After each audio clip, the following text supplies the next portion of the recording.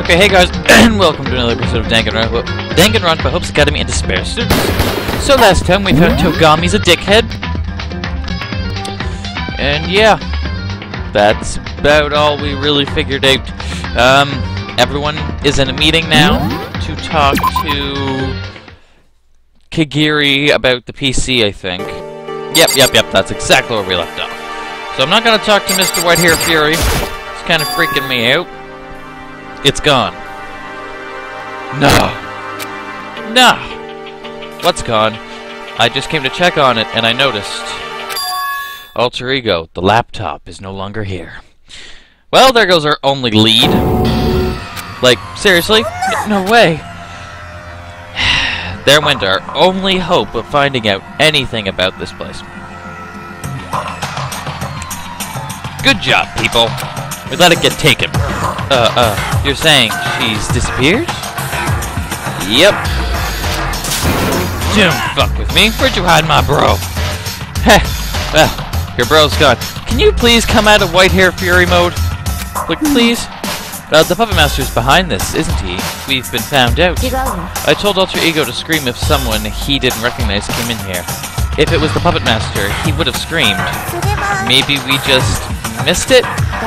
I was in the laundry room next door all day. There's no way I wouldn't have heard it scream. But but then, if the Puppet Master isn't responsible, this mystery is solved. The culprit can only be you!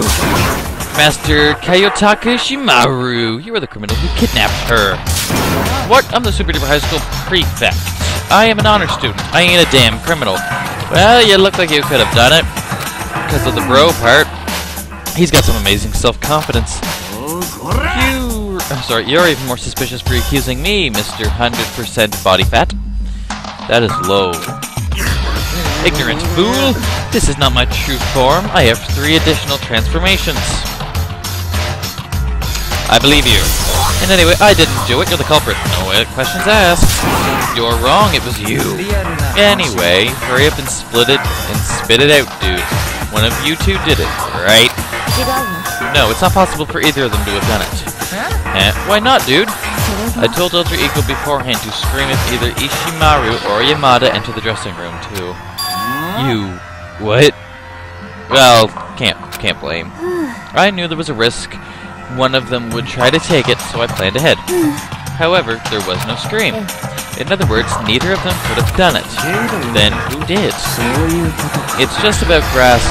Oh, I've just about grasped the situation. If Pup Master, Ishimaru, and Yamada didn't do it, then it must have been someone else. No duh! Myself, Naegi, Celeste, Ogami, Asahina, and Fukawa.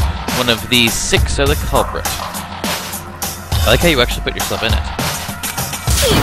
None of us would have stolen Alter Ego. We have no reason to. Then how about this possibility? There's a traitor among us. Huh? Well, that can't be just, you know, that cannot be the most confusing and shocking thing you've heard all day. Hmm. Seriously.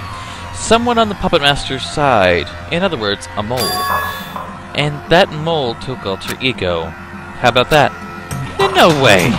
I had always considered it a possibility that we had been infiltrated by the Puppet Master. That he had planted a mole, someone on his side, to keep the game running smoothly. A traitor, the Puppet Master's mole. No, that's not possible. That's unthinkable. It can't be. Can't can I cut your tongue?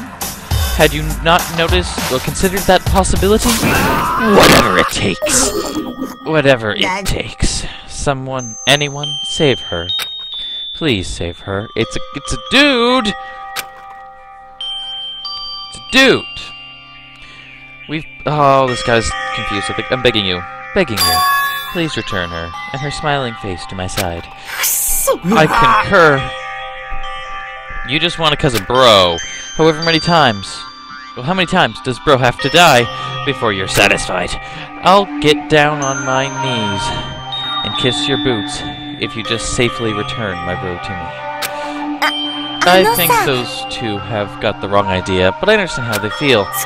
At the very least, it's unlikely they've destroyed Alter Ego at this point. If their goal was to destroy it, they wouldn't have gone through the trouble of taking it. Which is to say the culprit has some other motive. Some other motive. None of that matters. Not a damn thing matters right now. I swear on my man's honor I will get Bro back. I will save her with the power of love. No, you won't. Ding dong, ding dong. Bedtime? I'm guessing? Yeah? No. I have, I have attentions 10, nighttime is an effect, character I have limits, good night, sweet dreams. Okay, no special secret message. It's already that late, huh? Unfortunately, we will have to postpone our search until tomorrow. For the time being, let's rest. How can you be no nonchalant? It's more efficient to search during the day than drag our tired bodies around, is it not? This isn't an issue of, of efficiency, it's about feelings. But we increase our chances of being noticed by the Puppet Master if we move around at night. I agree. We should begin our search tomorrow morning. What do you think, Naegi? I agree with you, Kagiri.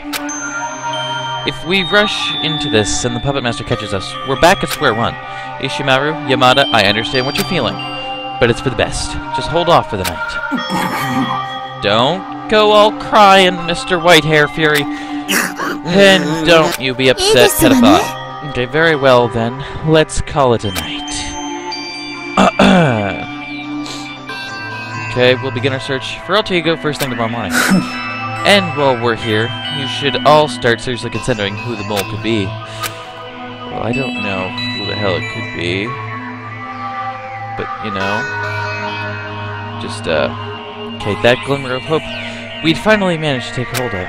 Alter Ego was suddenly gone, swiped out from under our noses in the blink of an eye. We were given a taste of hope, and then... and then had it snatched away, leaving only bitter despair. That's the same way the Puppet Master operates. Then, the one who stole Alter Ego really was the Puppet Master's mole. If that's true, then... No, it's not. It can't be! Without thinking, I let out a cry. The problem isn't that we've been infiltrated by the Puppet Master. No, what's really frightening is that we're back to dis uh, distrusting one another. That's what scares me most. Damn it! I collapsed into my bed in an attempt to rid my mind of the unpleasant thoughts, and I fell into a light sleep. A light sleep. Oh, Monokuma Theater time! I gotta love this! Jesus, more and more just keeps happening here. Okay, in different cultures, in different places, and at different times, murder is viewed differently. If killing were a sign of abnormality, all the great heroes of olden times would be stark raving mad. Sometimes, unjudging, unjudged murderers are that much more depraved than judging murders. I don't think I read that right, because it kind of confused me. You guys can pause it and read it there if you want, because I think I messed up a little bit. Okay, Monokuma. Oh Morning. Let's make today best it can be.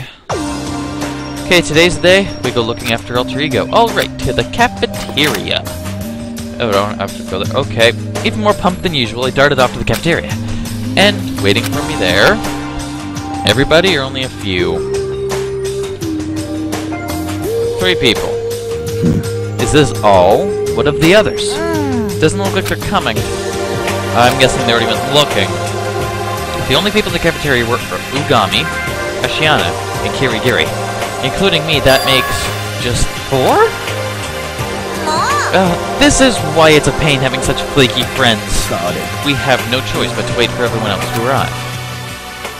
Or just go start looking, make sure they're looking. And so we waited for the rest of the latecomers to arrive, but as long as we waited... Not coming. Hey, it's already 8. They're over an hour late. Why has nobody else come? Celeste and Hagakure have never missed breakfast until now. I'm more concerned about Yamada and Ishimaru. For both of them not to show up when they were chomping at the bit to start looking. Something's happened. What? We'll let our guard down. We were so focused on Alter Ego that we forgot about Monokuma's incentive. There's no way it just ended there. Monokuma's incentive? What incentive? I forget the incentive. The money? Oh, the 10 billion yen! I forgot all about it! Seriously, what do you think? It's 10 billion yen, 10 billion yen? You're forthtelling at, uh, frothing at the mouth, ain't ya? Well, I'm not, I mean, not for money. Not one would. I cut myself off swallowing my words, because I knew, I knew all too well, you can never, as hard as you may try, completely understand someone else. so just about anything could happen. We should go looking for them. The ones who didn't show up. Y- yeah, let's go check it out. And we all hurriedly left the cafeteria. okay, it's probably best if we split up and search. Owagami, you take the dormitory.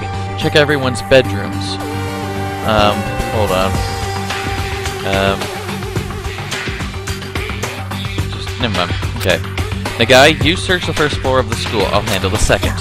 Alright, then I've got the third floor. Don't take any unnecessary risks if anything happens, call for someone immediately. Let's hope nothing does happen. I concur. Very well, let us begin. Everyone shared a look of uncertainty as we dispersed, and I hurried off I hurried off to my area, the school's first floor. Alright, let's go looking around. Okay, so I'm gonna check like absolutely everything here. We'll start with 1B, go to 1A, make our way around. Um, apparently not there. Okay, I bet you not neither of those, so I don't even check that. I'm gonna check the AV room next. And I don't know where to go from there. Uh, nope. I don't even think there's any clue in there. What the? C come quick, someone! What? That voice, it was Asahina's. I'm pretty sure she was searching the third floor. Oh, my body reacted faster than normal. Okay, I made it to the floor as fast as I could, and there she was, standing frozen in the hallway. Oh. The guy! What happened, Asahina? We, we've got a problem. When I opened the rec room door, I, I looked inside, and th there... Inside the rec room? I should let the others know. I I'm gonna go find everyone else. You go on ahead, Naegi. Nervous and flustered, Asahina stumbled down the stairs. What happened in the rec room? Half instinctively, I ran into the rec room. Who's dead? Who's dead? Who's dead? Please don't be someone I like. Please don't be someone I like. I opened the rec room door, and the first thing I saw was... No, she's, she's okay. But she's beat up. Celeste, and she was injured. I'd say she's injured. Who was injuring her? There's a mallet there too. But what happened, Celeste? I overplayed my hand. I was attacked. You were attacked by who? By a mysterious madman. Mysterious madman. Everything about the madman was a mystery. I can't help but call him mysterious. Mysterious madman quite aptly described him.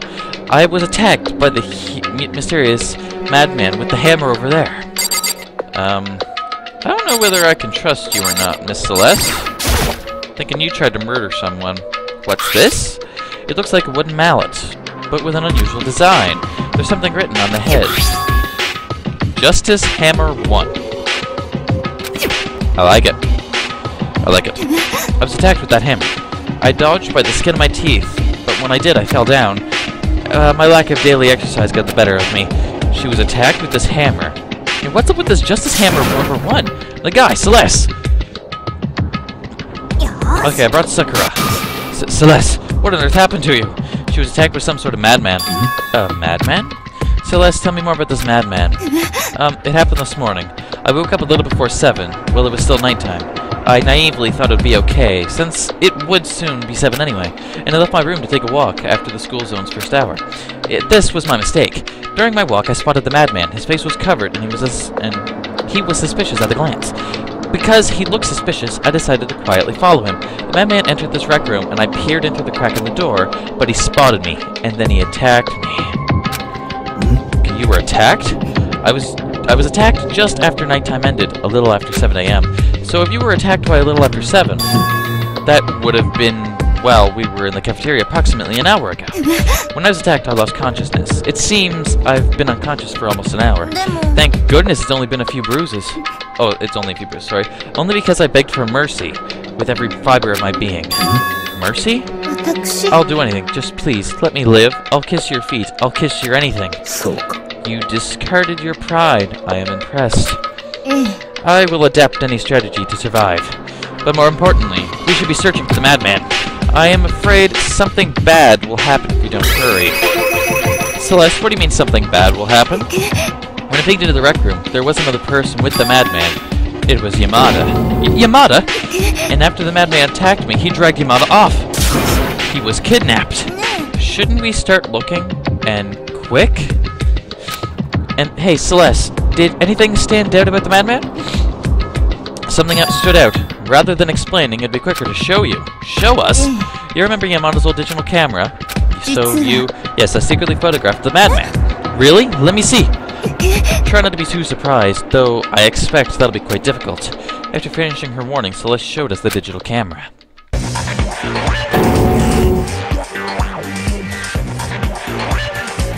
Huh? It's a robot. Um.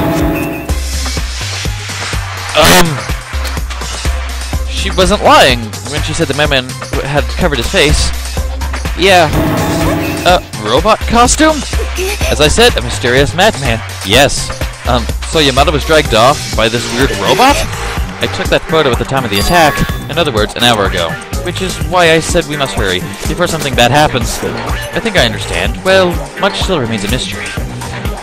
Jesus Christ. Like, Jesus.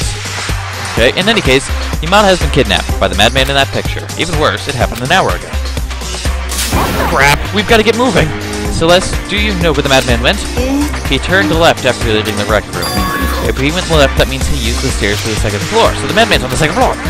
As I recall, Kirigiri was in charge of searching the second floor. Hey, speaking of, where's Kirigiri? Sorry, I haven't gone to the second floor yet. This could be bad. If the culprit is on the second floor, then they could run into each other.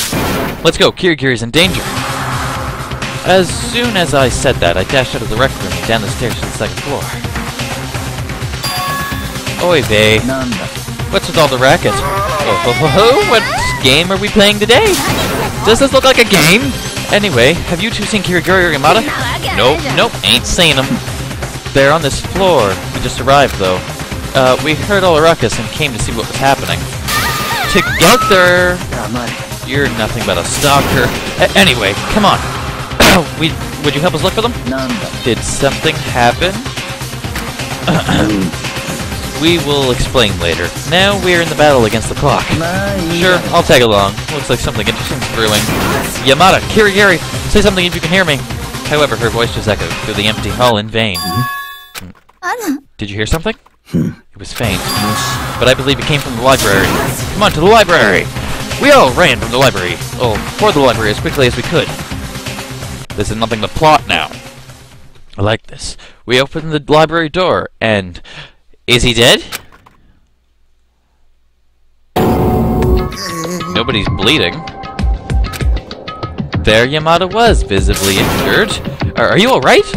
Oh, thank goodness he's alive. I am not well. See, look at this blood. How did you get those wounds? I was felled by him. By him. Justice Robo. I dubbed him such just moments ago. What are you talking about?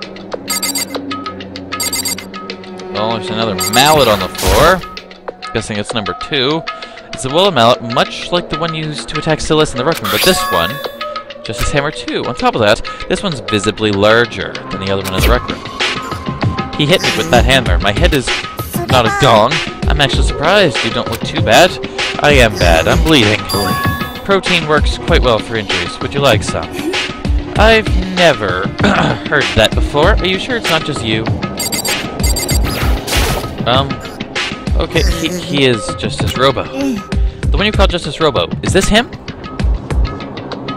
What, what the hell is that ridiculous contraption?